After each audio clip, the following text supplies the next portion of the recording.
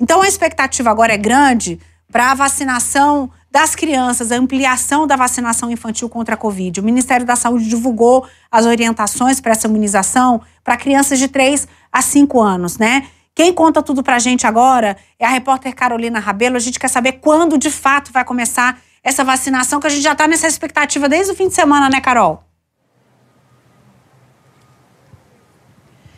Sim, Neila, expectativa lá em cima e olha a novidade então para os pais e responsáveis né, desses nossos pequenos. Começa hoje a vacinação para o grupo com 4 anos de idade, viu? Bom dia novamente a você e a quem nos acompanha aqui no DF no Ar. Então, segundo o Ministério da Saúde, né, que eles já haviam informando desde a semana passada que havia sido autorizado então a vacinação para esse grupo infantil entre 3 a 5 anos de idade, agora foi confirmado e a Secretaria de Saúde do DF informou então que as doses da Coronavac pediátrica já estão disponíveis em mais de 70 postos para vacinação desse público infantil.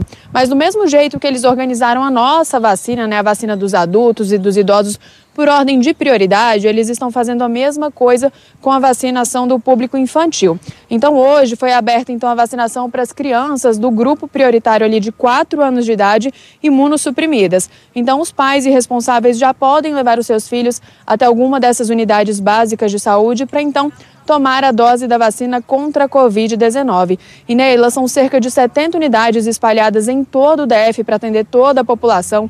A gente coloca aí na tela, então, para quem está em casa nos acompanhando, o site da Secretaria de Saúde, ali no site eles conseguem ver a localização, o endereço certinho e qual dose eles estão oferecendo para qual público. O site é esse que aparece aí na sua tela, que é o saúde.df.gov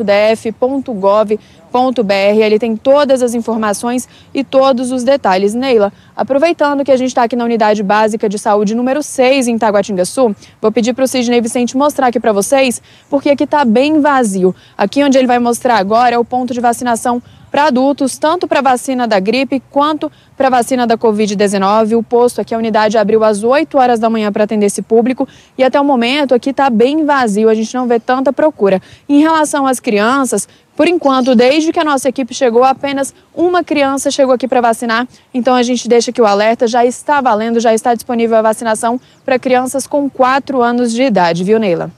Eu tava fazendo carinho num bebezinho que tinha aqui atrás, estavam perguntando se eu tava limpando a tela. Não, tinha um bebezinho aqui, a tia Neila não aguenta ver bebezinho.